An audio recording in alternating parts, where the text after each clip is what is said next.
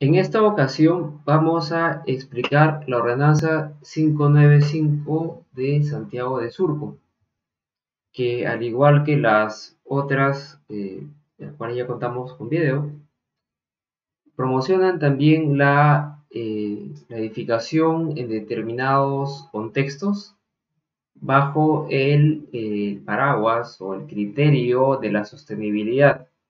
Para ello dan los los beneficios que, correspondan, ¿no? En principio,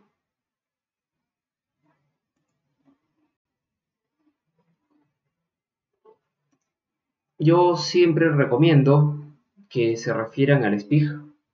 Siempre es mi política evaluar si en el SPIG está la, la legislación referida que estamos buscando en este caso, pues, podemos encontrar dentro de la normativa de Surco la ordenanza 595, como ahora verán, ordenanza de promoción de la construcción de edificios sostenibles y creación de espacios públicos en áreas privadas en el distrito de Santiago de Surco.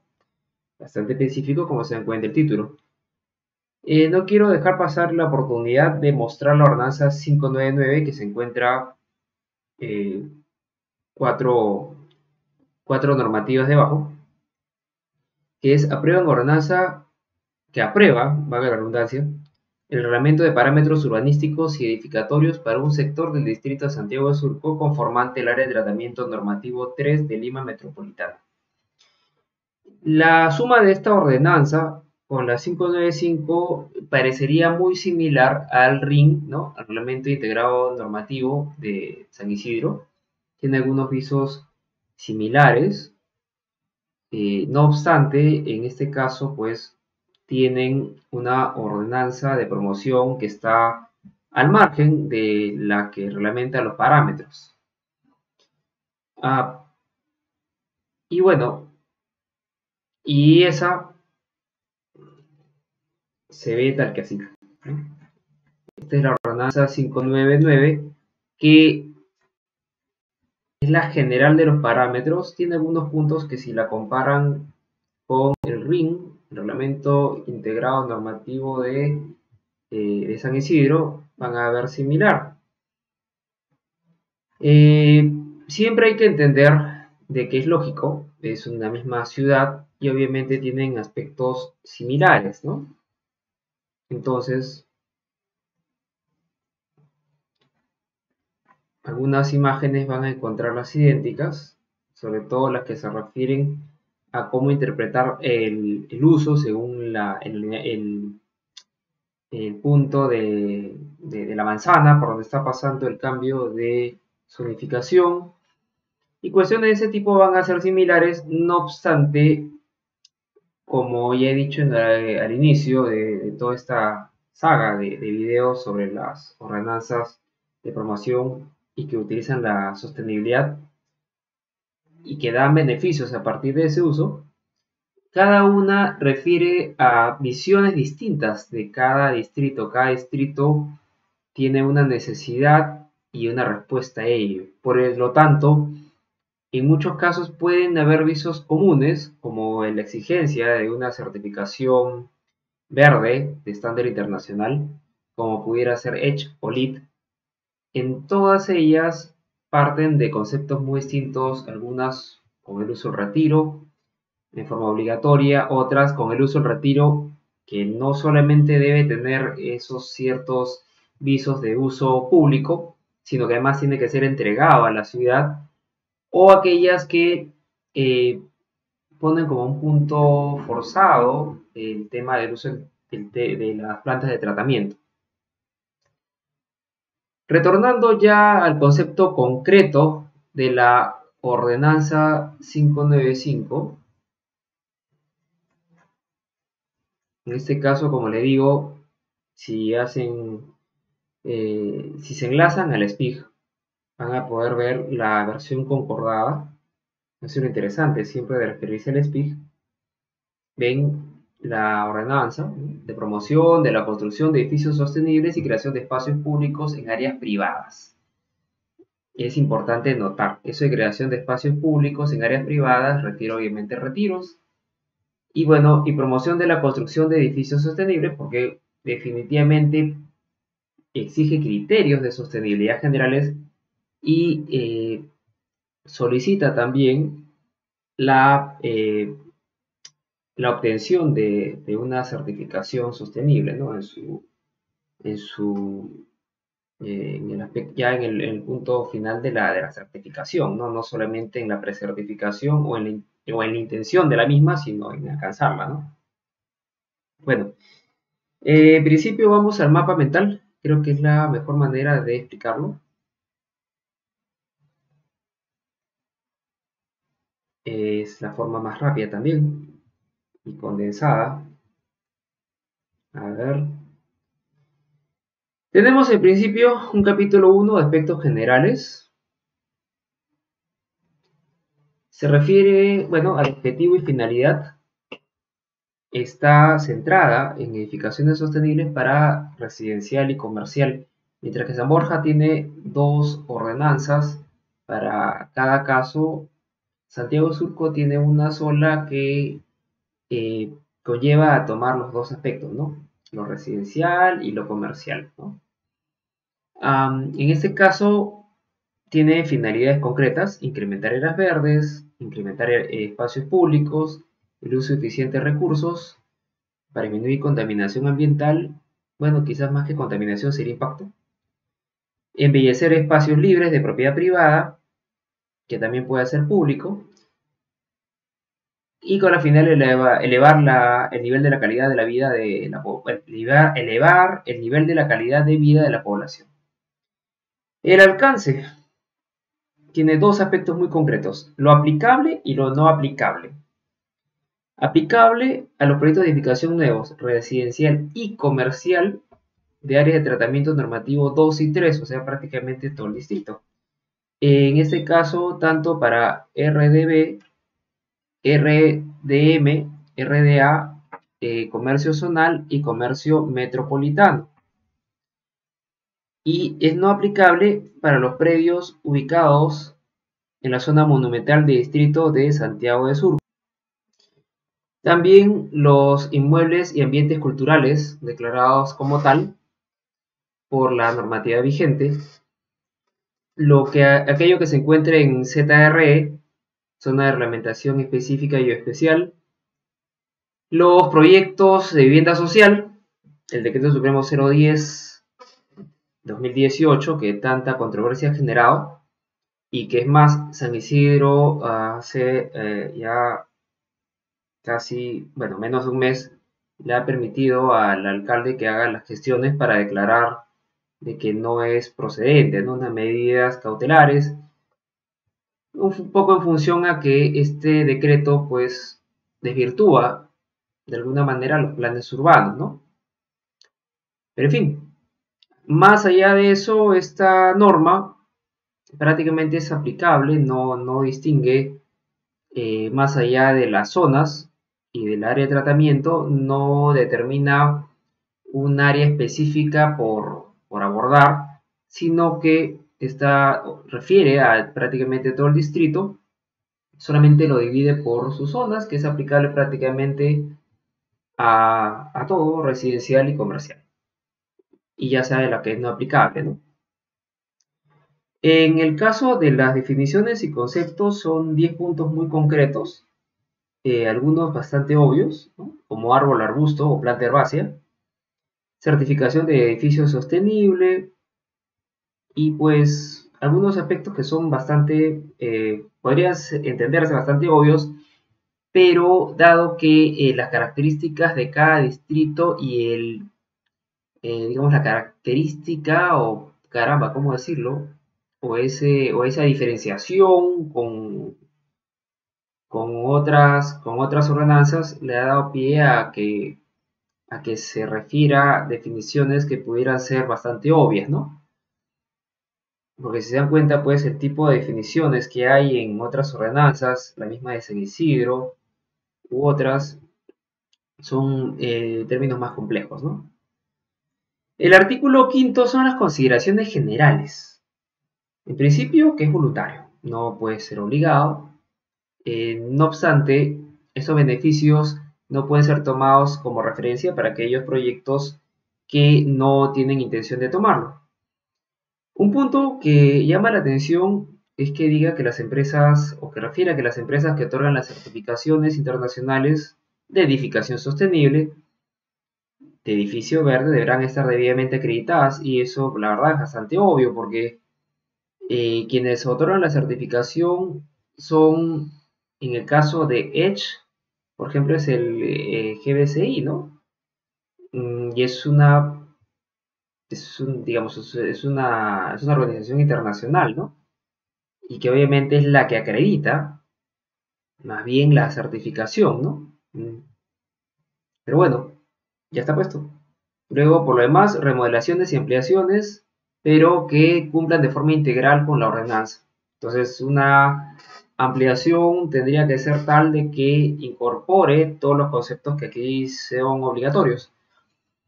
Sobre azotea verde eh, refiere, y eso sí prácticamente es común en todas, eh, tomar en cuenta una buena porción de la misma para eh, área, área verde, ¿no? Por eso refiere en el segundo párrafo, bueno, del mapa mental, por lo menos arbustos cada 5 metros cuadrados, altura mínimas y plantación de herbáceas. También permite sol y sombra. San Isidro también de alguna manera refiere eso, pero también eh, limita el criterio, en este caso que no sea en el retranque. Eh, sobre la superficie del retiro también menciona que debe ser verde, el área libre también y, el área del retiro deben tener una cantidad de área verde específica, dan cuenta de cómo, de algunos criterios muy concretos y considerando un anexo 4, que también da cuenta de cómo debe interpretarse. Sobre la movilidad sostenible también refiere a estacionamientos para bicicletas o cicloparqueo que eh, deben ser exigibles conforme al cuadro de beneficios, ¿no? Entonces, en función de eso se va armando el, requerimiento, ¿no? Según los beneficios que se quieran adquirir, ¿no? Mientras que se dieron cuenta que en San Borja daban más beneficios en función a que no sea solamente un edificio terminado, sino que en el siguiente eh, discriminaban más, por, más que por el dueño, por quien se encargaba de hacer la gestión inmobiliaria, quizás, ¿no? Quienes venderían. La segregación también de residuos diferenciados, eso es muy importante, disminuye el trabajo de, los distritos en, función de que sus residuos sean diferenciados y sean recogidos de forma diferenciada, es un gran gol, definitivamente, ¿no? En la actualidad uno se puede dar la molestia de, segregar los residuos y lo deja en bolsas distintas en la calle y sin embargo viene el señor encargado de recogerlos y en una sola recoge todo y lo lanza en el mismo espacio al mismo camión compactador, ¿no? Entonces no, no diferencia, salvo que uno pertenezca a un plan piloto, entonces a veces como que baja la moral. No obstante, aquí exige pues de que debiera haber una forma de segregar. También da cuenta de que en el caso también cuando se va a plantear estacionamientos y su eh, relación con el retiro y que sea área verde, ¿no? Que sobre estacionamiento, ¿no? Sobre todo refiere al, área de tratamiento normativo 2, que es distinto del 3, obviamente. 3 del 2 es distinto. En este momento no voy a explicar toda, toda la zonificación de, eh, de, Surco, pero Surco obviamente tiene dos, dos, zonas bastante marcadas, ¿no? La área de tratamiento normativo 3 y la 2. Sobre eh, las consideraciones del tamaño y frente del lote, eh, van a corresponderán al establecido en cada área de tratamiento normativo respectivo, eso también es importante considerar, y que eh, pues los beneficios son aplicables sobre altura permitida en el lote del plano de alturas. Eso también hay que, se tiene que ver, ¿no? En fin, y el incremento de altura no será mayor, eso también quiero, lo voy a marcar, por El incremento en la altura de la edificación por efecto de los beneficios o por la suma de ellos no será mayor a un nivel para edificaciones frente a calles y jirones y de dos niveles frente a avenidas y lotes de esquina y de tres niveles frente a avenidas metropolitanas. En todos los casos se considera dicho beneficio más la construcción de la azotea. Con esto ya están viendo, si comparan con los otros videos que hemos realizado sobre, sobre la promoción de las, eh, a, las edificaciones verdes, de que cada una tiene también una característica de desarrollo muy distinta, ¿no? Pueden parecer algunos aspectos muy similares, el uso del retiro, la segregación de residuos, contar con una certificación sostenible, no obstante, hay detalles que las hacen totalmente, eh, digamos que distintas, ¿no?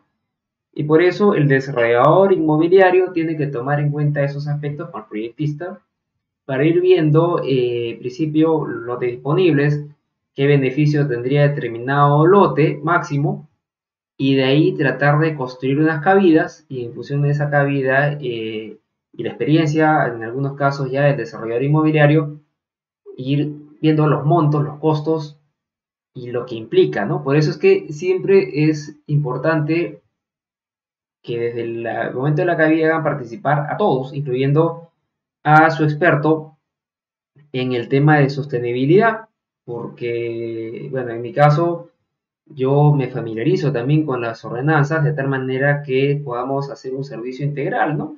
No solamente obtener la, certificación, que, que, bueno, definitivamente es un gran logro. No obstante, es tan importante acompañarlos, como han visto en, otros, eh, la otra ordenanza, ¿no? Tiene que también eh, la, Junta de Propietarios asumir y tienen que tener un reglamento interno que incorpore de manera ordenada eh, todos estos aspectos y que se sepa cómo se debe usar la, la edificación, ¿no? Aunque esta no es eh, compatible con el Decreto Supremo 010-2018 y sus modificatorias, que es para vivienda social, y por tanto no sería compatible con lo que es el aspecto del Fondo Mi Vivienda. De todas maneras, igual hay algunos aspectos comunes, ¿no? En la otra todavía, en San Borja, tiene que haber la posibilidad de que los funcionarios o los encargados puedan acceder a las, eh, a las unidades inmobiliarias, no solamente a las áreas comunes, ¿no? Sobre ah, condiciones específicas y beneficios, refiere al anexo 1. El anexo 1 es bastante, bastante extenso. Y eso mejor lo voy a ver un instante porque son las características obligatorias y los beneficios que se obtienen según cada caso. El artículo séptimo refiere a la certificación internacional de sostenibilidad de una edificación. Eh, aquí, a diferencia pues de la primera de San Borja, es bastante, bueno, coinciden en Brian y en Lead. Edge en ese tiempo, en la 496 de San Borja, no existía aún, al menos en nuestro medio, como para ser ofrecida. Eh, era, bueno, hablamos del 2013 en ese caso, en la 496. Y bueno, aquí, a diferencia de las demás, abre una, digamos, una salida, dice u otra. No refiere cuál puede ser esa u otra, pero que sea debidamente eh, certificada o sustentada, ¿no? No sé, quizás HQS en algún momento llegase u otra, ¿no? Lo que siempre se refiere eh, toda, em, toda certificación es que se utilicen estándares internacionales, ¿no? Normalmente un estándar internacional de eficiencia energética puede ser, por ejemplo, SHAE, ¿no? Y en agua puede ser, bueno, pueden ser varias, ¿no? En todo caso, yo siempre sugiero, en este caso inmediato, Edge. Yo tengo bastante manejo de esa certificación y estoy llevando algunos proyectos con, con, ella, ¿no? con esta certificación, y es bastante manejable para el trabajo. Eso en la medida en la cual eh, acompañemos el proyecto desde que está iniciándose para que desde cabida nomás ya vayamos viendo algunos aspectos.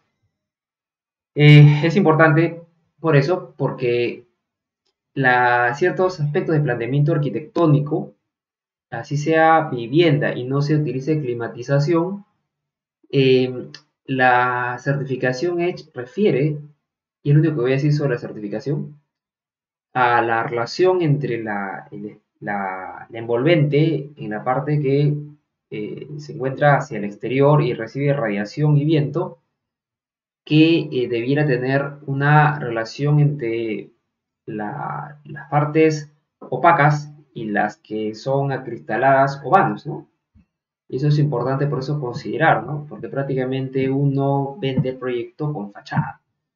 Entonces el 3D puede ser muy importante o resulta muy importante en el momento que se vende, ¿no? El artículo 8 está refiriéndose al trámite administrativo, anteproyecto, la etapa de aprobación de licencia de obra y la etapa de conformidad. Tres momentos muy puntuales, anteproyecto, aunque no es obligatorio, suele ser común que se presente bien difícil, aunque también existe algunos casos en los cuales no se presenta proyecto, sino de frente se, se presenta proyecto. todo se refiere a anexos, ¿no?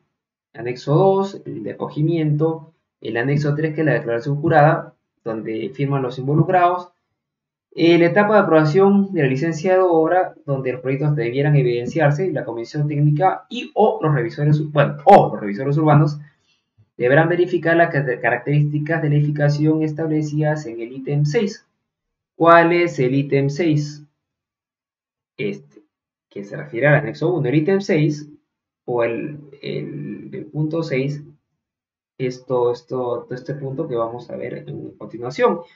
Hubiese sido increíble quizás desarrollarlo en artículo sexto, pero imagino que no han querido romper el hilo de la lectura, por lo tanto decidieron pasarlo a anexo. Punto importante es considerar que en la etapa de conformidad de obra se solicita que se tendrá que presentar el certificado, el certificado de edificación sostenible, sea Edge O cualquier otra certificación que llegue posteriormente. No obstante, abre la posibilidad de que hay un problema con la certificación y por tanto, si no se tiene, se iba a eh, anotar en el FUE, en la ficha de conformidad de obra y en la categoría de edificación del FUE, de que no se ha obtenido la certificación yo creo que definitivamente al margen de el nivel de infracción que pueda implicar, yo creo que por un tema de política de empresa, no es lo mejor que queden ese tipo de huellas en una empresa inmobiliaria, ¿no? Definitivamente yo no lo recomendaría. Definitivamente considero que sería un, error, grave error. Bueno, y aquí también ya nos refiere, eh, como en otra ordenanza, que el reglamento interno de la Junta de Propietarios, los cuales obviamente tiene que entregarle el desarrollador inmobiliario, tiene que eh, proponer el compromiso para mantener, primero, no modificar ni alterar las características, darles el debido mantenimiento y la cartilla. La cartilla, y es un poco esto como lo hemos leído en la otra ordenanza, ¿no? Eh, donde no debe cambiarse las características que llevaron a cabo el, o que permitieron obtener la certificación, y no solo la certificación, sino la licencia, ¿no? Y en la declaración de fábrica se tiene que cocinar todas las áreas verdes, azoteas, sus dimensiones, componente, además de todo lo que llevó a, eh, obtener esta, esta, licencia y la certificación.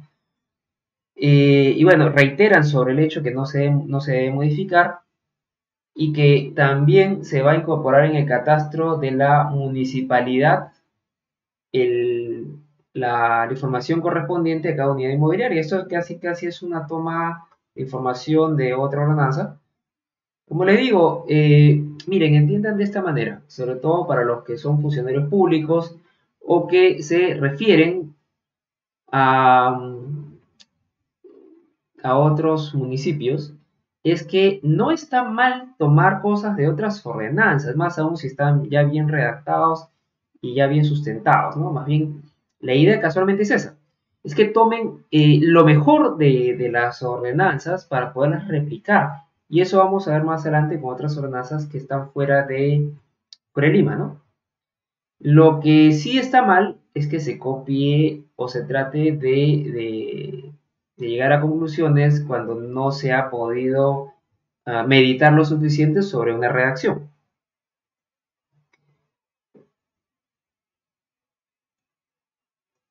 Aunque hay disposiciones complementarias y finales, yo quiero antes de eso ir al anexo 1. El anexo 1 es un poco, un poco largo, pero extremadamente importante.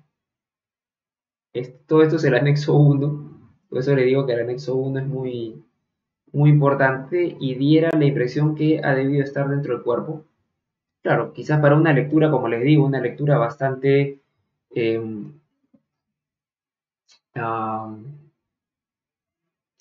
quizás una lectura directa, sin, estar entrando a detalles, ha sido bueno hacerlo de esa manera, solamente que es un anexo tan fuerte que prácticamente compite con el cuerpo de la, de la ordenanza. En fin, el punto 6.1 son los beneficios por edificación sostenible. Y ahí refiere, ¿qué casos? Deben constituir edificaciones multifamiliares, zona de tratamiento 2 o 3, RDB, RDM, RDMA, CZ, CM y sobre lotes, punto importante, sobre lotes iguales o mayores del lote normativo. De no contar con dichas dimensiones, pueden lograrlo con acumulación de los mismos. Entonces, dicho esto, ¿cuáles son las condiciones específicas que se exigen? El certificado de edificación sostenible entregado en la etapa de conformidad de obra. No piden la de proyecto, menos no la he detectado que, que la soliciten en proyecto.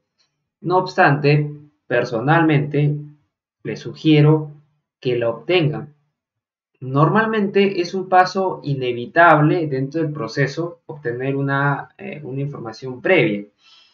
Más bien es un poco un riesgo no tomarla en cuenta porque pudiera ser que, o al menos hasta que no se obtiene el preliminar, no tienes puntos fijos como para poder estar seguro que vas a llegar al final.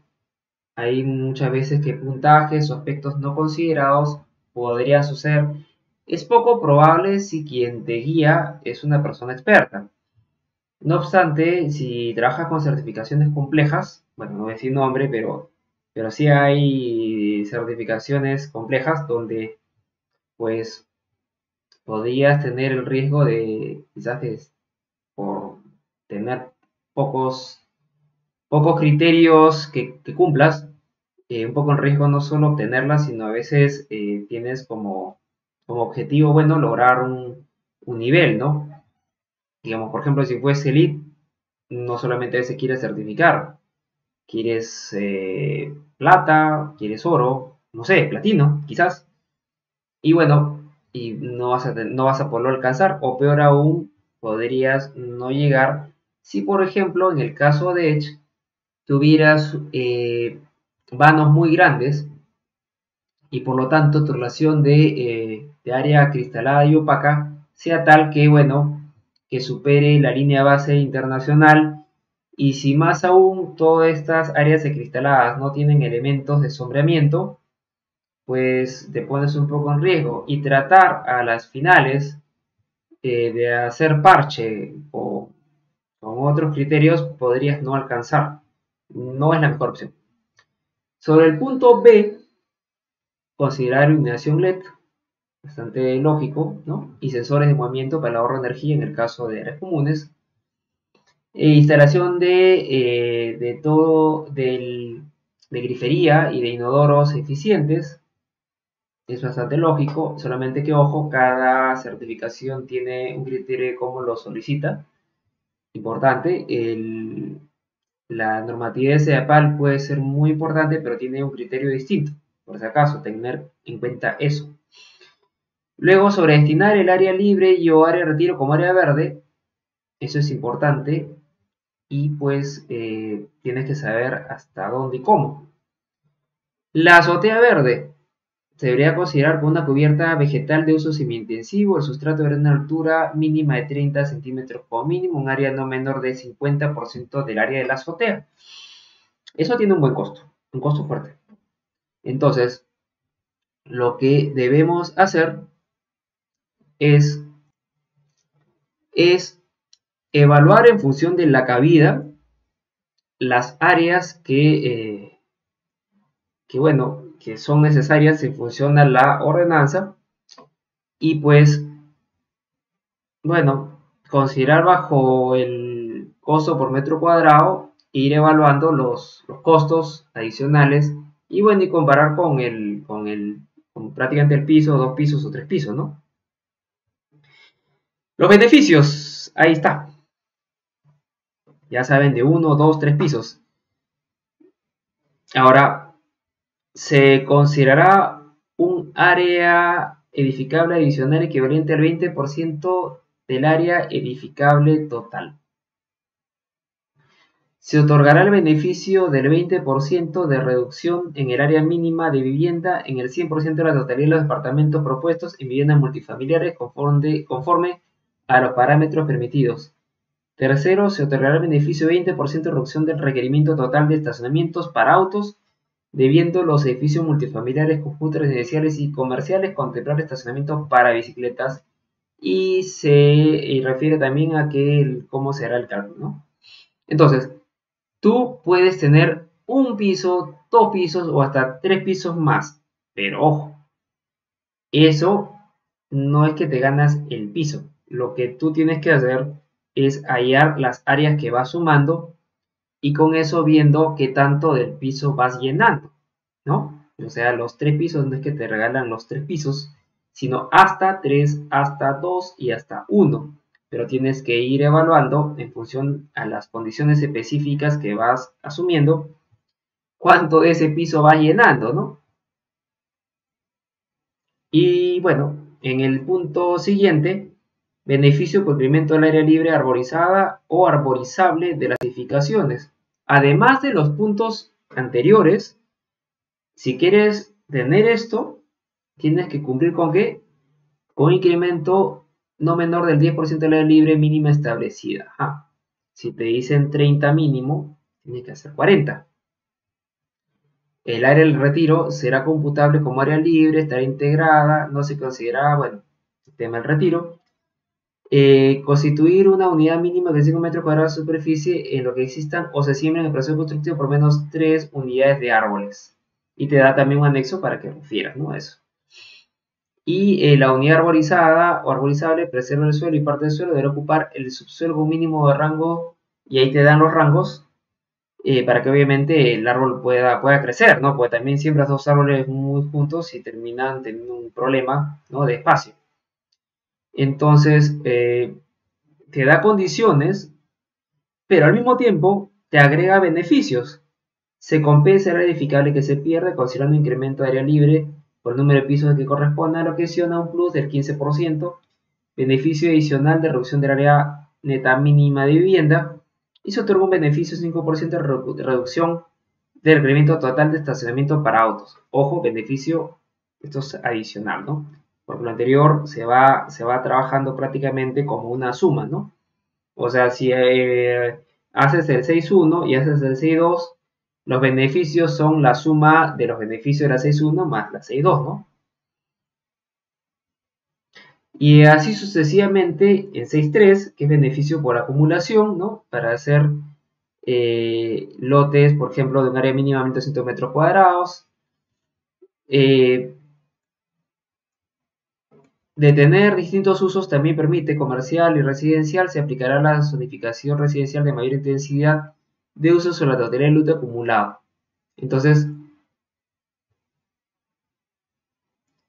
más beneficios, 15, 5% por acá y 5% adicional de reducciones. 6.4 refiere a retiros laterales y posteriores ¿no? Ya cuando se refiere a, lotes mayores, hay mayores beneficios aún y con unidades mínimas de vivienda. El 6.5 por contribuir aún más con el, área, con el área pública de la ciudad. Entonces, si se da áreas con servidumbre perpetua, se procede a la subdivisión de lote y la transferencia de municipalidad mediante escritura pública para escribirla para hacer clic en registros, ¿no? Y bueno, y ya cuando se logra eso, se considera un 20% adicional al área edificable total del beneficio del ítem 610. Se considera la compatibilidad del uso conforme a la normativa vigente.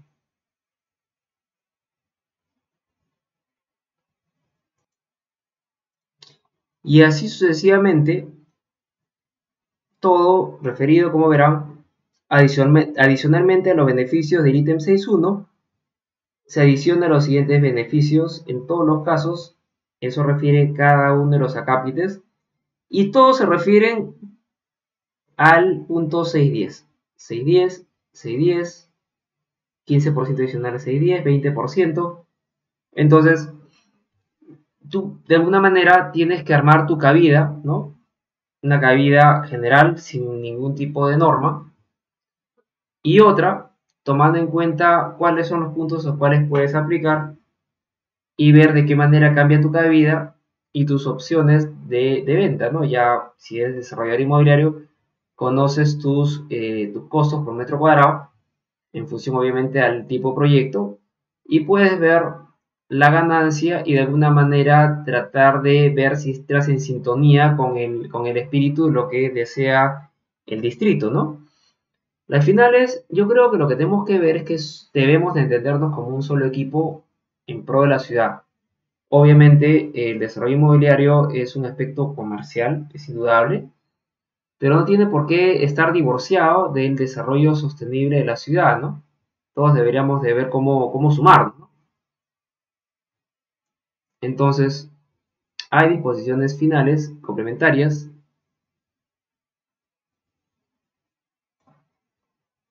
por ejemplo, disposiciones complementarias, se faculta a que por decreto de alcaldía se emitan las normas que complementen o que sean necesarias para una aplicación adecuada, pero al mismo tiempo, eh, en segunda instancia, la GD, GDU de la municipalidad queda encargada de resolver cualquier controversia, aclaración o precisión sobre esta ordenanza y que, bueno, de alguna manera es inapelable y constituye antecedente para su aplicación, o sea, genera jurisprudencia. Dos puntos importantísimos para no tener que eh, recurrir a, hacer una ordenanza nueva cada cambio o cada interpretación. Como les digo, en algunos casos se aprende sobre la marcha, no hay manera a veces de hacer elaboraciones de eh, elaboraciones más complejas, ¿no? Se tiene buena intención, pero a veces se escapan cosas, ¿no? Bueno, disposiciones finales que entraba en vigencia en su momento al día siguiente, se deroga la ordenanza 541 y se dispone de que se publique en el Perú. Bueno, eso respecto a esta ordenanza. De mi parte, tienen eh, mis coordenadas por si requieren eh, información específica sobre algún ítem o sobre un proyecto como les digo, los aspectos del reglamento interno de la, perdón, de la Junta y su reglamento interno, también del manual del propietario, no necesariamente está detallado en una, certificación. Hay que saberlo también eh, incorporar, ¿no? Y pues nada, quedo ustedes para cualquier, eh, cualquier requerimiento. Ahí tienen mis, eh, mi teléfono ¿no? Soy el arquitecto Luis Fernández Pinoza Castillo, les agradezco su atención.